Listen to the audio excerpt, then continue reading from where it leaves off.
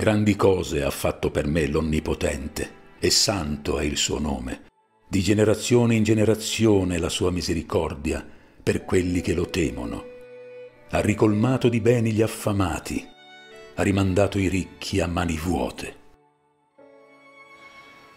L'Ave Maria raccomanda alla Madre di Dio, prega per noi peccatori. Per questo Maria è anche Madre dell'umanità specialmente dai fedeli. In lei si sente più vivo il legame fraterno che unisce i discepoli di Cristo. Al Padre chiediamo di perdonare le nostre offese, di non farci cadere nella tentazione e di liberarci dal maligno. Anche alla Santa Madre, che nel Magnifica proclama la misericordia di Dio di generazione in generazione, noi peccatori imploriamo con fiducia. Di questa misericordia il beato Artemide Sati, salesiano coadiutore, è stato un segno buon samaritano per i piccoli, i poveri, gli esclusi e gli ammalati. La famiglia Zatti è un'umile famiglia di contadini che decide di lasciare il proprio paese, Boretto, per andare in Argentina in cerca di maggior fortuna e per sfuggire alla pellagra. Artemide passa la sua fanciullezza e adolescenza frequentando la parrocchia, servendo la messa e lavorando in campagna. Chi lo ha conosciuto dice di lui un giovane sempre misericordioso, allegro e gran lavoratore, umile, silenzioso e molto affettuoso, sempre obbediente e rispettoso verso i genitori. La vocazione salesiana sboccia leggendo la vita di Don Bosco e dopo aver fatto amicizia con un salesiano carismatico, Don Cavalli.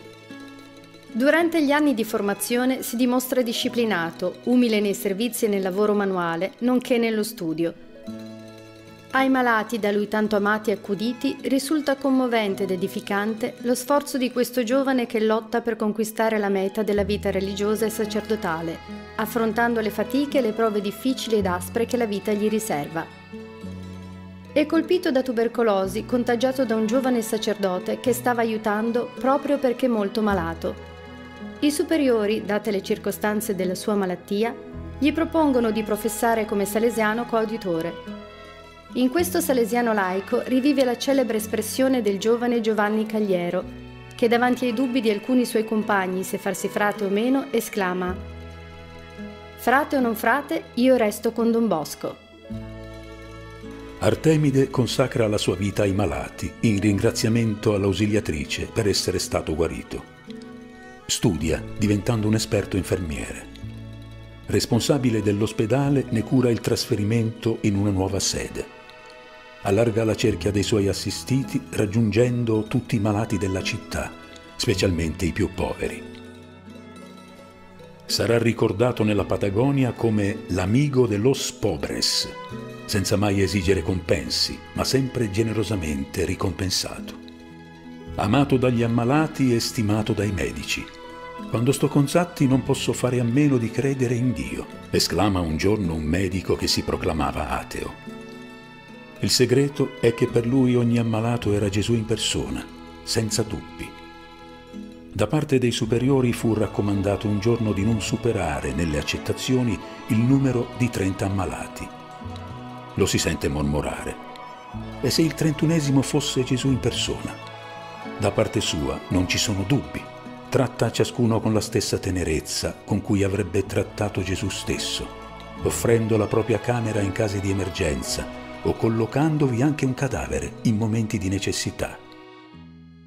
Spesso la suora guardarobiera si sente interpellare.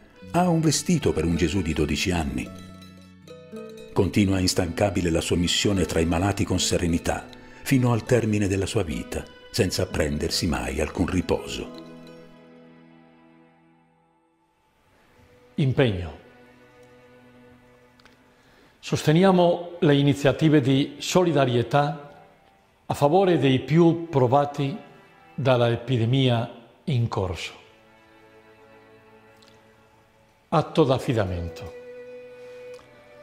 O Maria Ausiliatrice, come il nostro padre Don Bosco fece con i ragazzi dell'oratorio di Valdocco in occasione del colera, anche noi, in un mondo colpito dall'epidemia del coronavirus, vogliamo come famiglia salesiana esprimere il nostro filiale affidamento al tuo cuore di madre. Consola gli ammalati e le loro famiglie, sostieni i medici e gli operatori sanitari, aiuta tutti i membri della società e i governanti, accogli tutti coloro che sono morti a causa di questa epidemia. Soprattutto rinnova in ciascuno di noi, nelle nostre comunità, e nelle nostre famiglie la fede nel tuo Figlio Gesù, morto e risorto. Facendo nostre le parole di Don Bosco, ti diciamo, O Maria, Vergine potente, tu, grande e illustre presidio della Chiesa, tu, aiuto meraviglioso dei cristiani, tu, terribile come esercito schierato a battaglia, tu sola hai distrutto ogni eresia in tutto il mondo. Tu nelle angustie, nelle lotte, nelle strettezze, difendici dal nemico e nell'ora della morte accogli l'anima nostra in paradiso. Amen.